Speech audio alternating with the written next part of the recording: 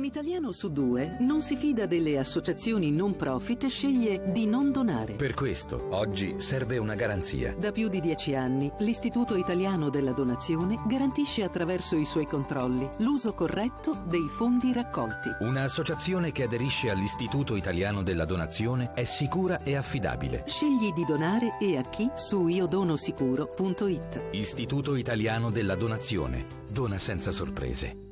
Bentrovati. Io sono Ornella Ponzoni ed è un piacere essere qui oggi con voi insieme alla mia collega Cinzia Di Stasio per parlarvi dell'Istituto Italiano della Donazione, un'associazione che da oltre 15 anni si occupa di dono e donazione in tutta Italia.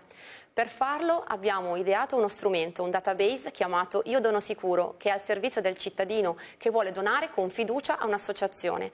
Cinzia, che cos'è Io Dono Sicuro? Grazie Ornella. Abbiamo visto un contributo che spiega la nostra attività. Eh, aggiungerei che Io Dono Sicuro è uno strumento, uno strumento molto concreto che i cittadini hanno a disposizione quando vogliono scegliere a chi rivolgere la propria generosità. Quindi quando chiunque di noi eh, è indeciso sull'organizzazione da eh, sostenere può andare su iodonosicuro.it e trovare delle organizzazioni verificate. Cosa vuol dire verificate? Come istituto ci poniamo proprio l'obiettivo di controllare tutti gli elementi più importanti di un'organizzazione, soprattutto per quanto riguarda la gestione economica. Quindi come le organizzazioni raccolgono i soldi, le donazioni e quindi le risorse, come le eh, organizzano all'interno appunto della propria organizzazione e come chiaramente le destinano. Per fare questo andiamo anche a vedere degli indici eh, di controllo, quindi l'indice della spesa della missione, quanto va al progetto, quanto va alla struttura. Tutte queste informazioni sono raccolte in delle schede, una scheda per ogni organizzazione che il cittadino può visionare e confrontare tra un'organizzazione e l'altra. Questo permette sicuramente una donazione più consapevole, una scelta più ragionata eh, che dovrebbe aiutare eh, il donatore a sentirsi più rassicurato e garantito nel momento in cui fa una donazione a un'organizzazione non profit. Chiaramente nel nostro database ci sono organizzazioni che eh, raccolgono fondi ma eh, offrono anche delle occasioni di volontariato, quindi anche un donatore che vuole offrire il proprio tempo e non, non soltanto delle donazioni economiche può avere a disposizione uno strumento per la scelta.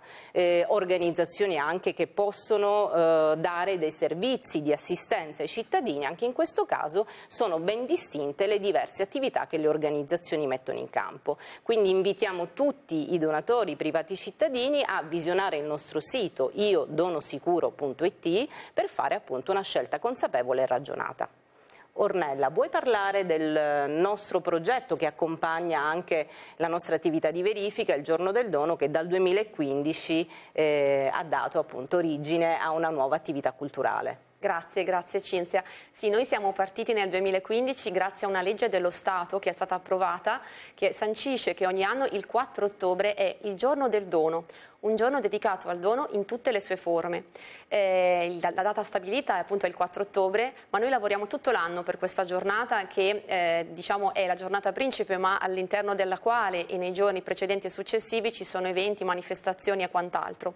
L'invito che vi facciamo è di andare nelle vostre scuole insieme ai vostri eh, bambini, insieme ai vostri figli, invitare i presidi, i professori ad aderire al giorno del dono, perché l'invito è rivolto principalmente alle scuole, ma anche ai comuni, anche alle associazioni non profit e anche alle imprese che credono nella responsabilità sociale di impresa. L'appuntamento per tutti è su www.giornodeldono.org.